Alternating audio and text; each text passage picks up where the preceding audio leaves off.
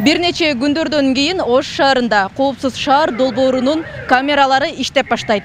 Алгачкы бир ай сыноо мөөнөтү болгондуктан эреже бузуунун ылдамдыкты ашыруу түрүн гана каттайт. Айдоочуларга болсо айып пул эмес жөн гана эскертүү баракчасы барат.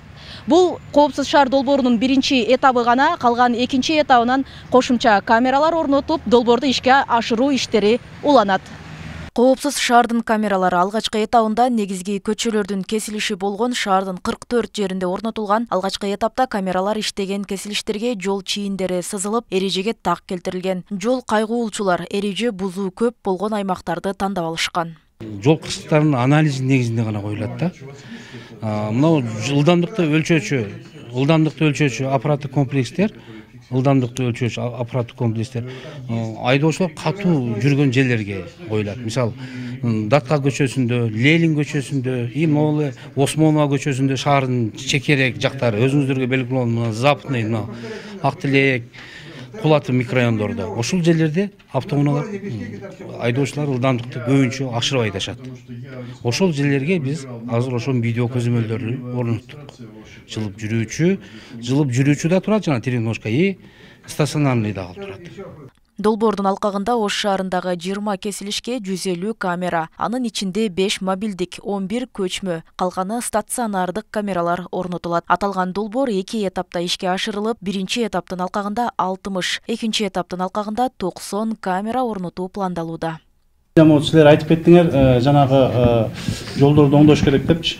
Биринчи этапта жалаң баягы ылдамдыкты азайтуу боюнча камералар коюлду. Перегрузкалар коюлу элек экинчи этап менен башталат алчы ага ал коюлуп бүткөнгө чейин силер айтып аткан баягы парковочный местолордун бүт баардыгына иретке келтириш керек да бул бул маселе жалаң эле ошто эмес бул маселе бүт республика боюнча андай нерсе тиги россияда дагы бар өзбекстанда дагы бар. Себеби машинанын саны баягы ош шаарынын жолдору илгерки союздун убагында расчет кылынган жолдор да туурабы азыр эми жолду кеңейтүүнүн өзү кыйын да. Анан бишкекте деле ушундай.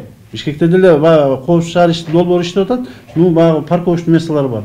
Чийиндерин кайсы жерде жанагы жол кесилиштерине туура турган болсо бул милдеттүү түрдө жаңыланып чийилет бул ош шаардык экинчи этапта бул ош шаардык жолдор курулуш башкармалыгы кылат. И ошондой эле ушул компаниянын дагы эмелери жанагы стоп линияларды чийип берет.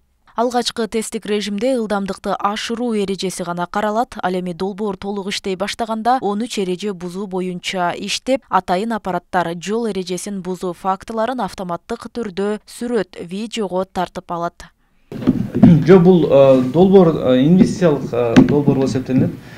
Биз то есть мэрия конкурстун шарттаманын негизинде инвестор өзүнүн акчасына баардык аппараттык комплекстерди алып келип бул жакта техникалык тейлөөнү дагы өзү жүргүзөт кийин бирок ал расчетторду штрафтын эсебинен кийин эсептеши болот.